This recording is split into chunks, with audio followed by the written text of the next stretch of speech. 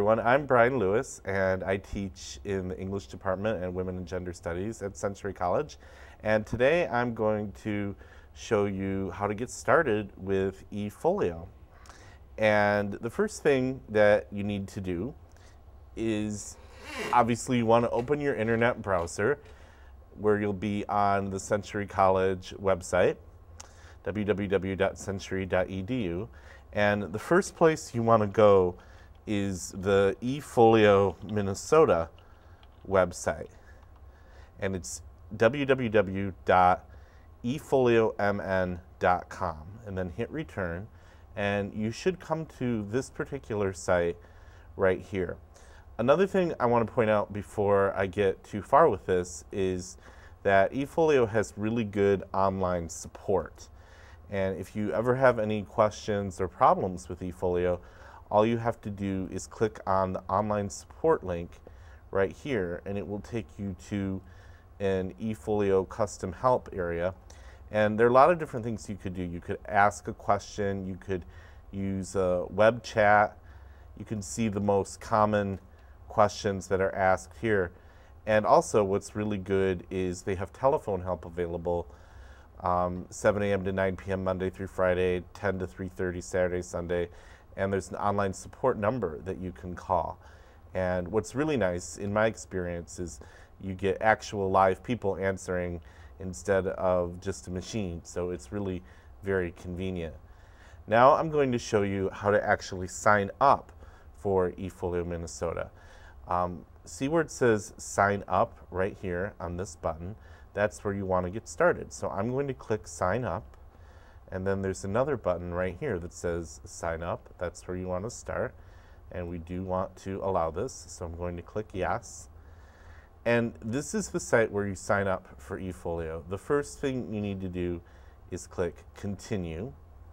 This is the terms and conditions for the eFolio website. Essentially, just to summarize on this, you're agreeing not to sell anything on the site, you're agreeing not to post anything um, illicit and you, know that you're using it for a specific academic or professional purpose. So as long as you accept the terms of the agreement, you want to click continue there. Sign up code, I would just click continue. I don't really use this personally. Um, if you're a student, click student. If you are a professional person, such as a faculty member, I would click professional. Uh, today I'm going to set one up as a student. So I'm going to leave it on student and just click continue. Over 18, now this is a really interesting issue. Probably most of you are over 18 and this is not a problem, but there's some of you perhaps who might be PSEO students who are under 18 and in that case what's going to happen is eFolio is going to password protect your site. Um, and people who um, get into your site can only access it through a password. So um, I'm not going to go over the password protect right now, um, since probably 95% of eFolio users at Century College are over 18. I'm just going to assume that um, that you are. So I'm just going to click yes for over 18.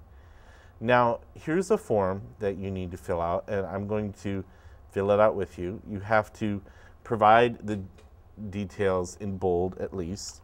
And I'm just going to fill this out. You want to start with your email address and then type your email address just to confirm it. I'm not going to put my real name here simply because I'm just doing this for demonstration purposes. I'm just putting John Smith, a pretty generic name postal code, where I live. Um, you can you can answer some of these questions, but you don't have to. At least I'm just going to fill out the ones in bold here specifically. Password, it's good to have both letters and numbers in your password. I usually have a password that's about 8 to 12 characters in length. This one has 8 in particular, and it has both numbers, and letters in it. So um, notice that I have filled out all the bold areas of this form. And so what I'm going to do next is I'm just going to click continue. and it allows me to review my details.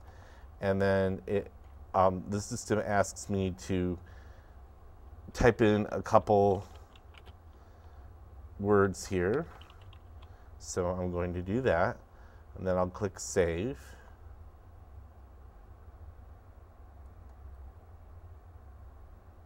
And it says I have successfully created an eFolio Minnesota account.